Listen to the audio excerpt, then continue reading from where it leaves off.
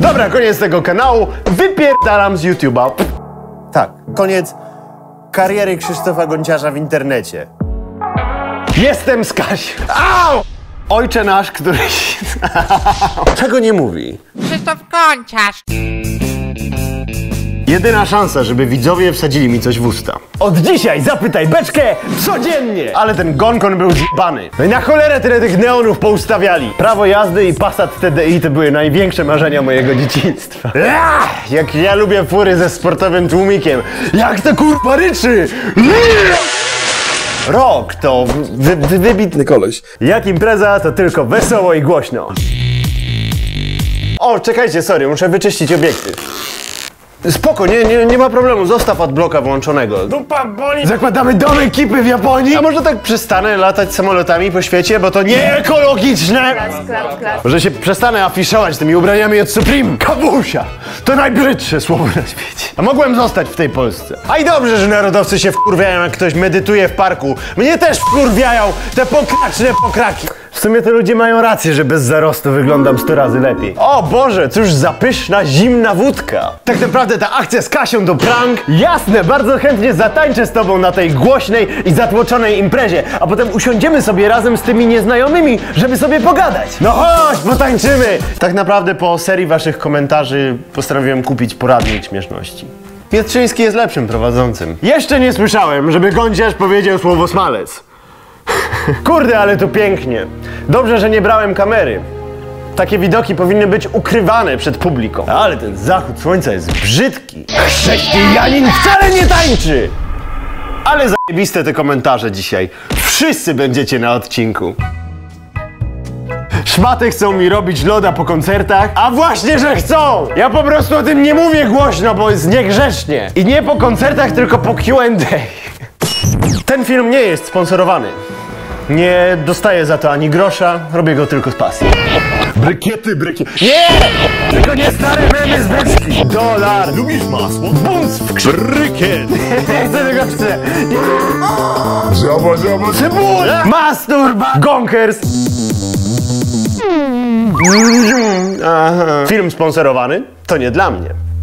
Komu to potrzebne? Ten film jest sponsorowany przez nową książkę Krzysztofa Gonciarza. Sponsorem dzisiejszego odcinka jest Krzysztof Gonciarz. Książka, którą wydaję dla Was w tym roku, została napisana przeze mnie wspólnie z Bartkiem Przybyszewskim, dziennikarzem i moim kolegą, z którym poszliśmy w długą formę wywiadu. Jest to ponad 300 stron gadania. Na różne tematy, na które zazwyczaj trudno jest mi się wypowiedzieć w postaci filmu, z jakiegoś powodu. Naprawdę wiele rzeczy, tematów i przemyśleń zrzuciłem z serca i wrzuciłem wspólnie z Bartkiem do tej książki. Mam nadzieję, że Wam się spodoba. Myślę, że wyszła bardzo ciekawie. Jeśli śledzicie moje filmy, czy to na kanale poważnym, czy na kanale komediowym, to na pewno będzie tam dużo informacji dla Was. A jeśli nie śledzicie, to myślę, że i tak trochę tak. Ale najlepsze jest to, że ta książka ma taką okładkę.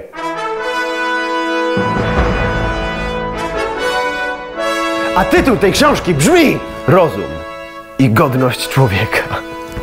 Po prostu chciałem, Chciałem, żebyście prosili rodziców. Mamo, ja chcę tę książkę pod choinkę.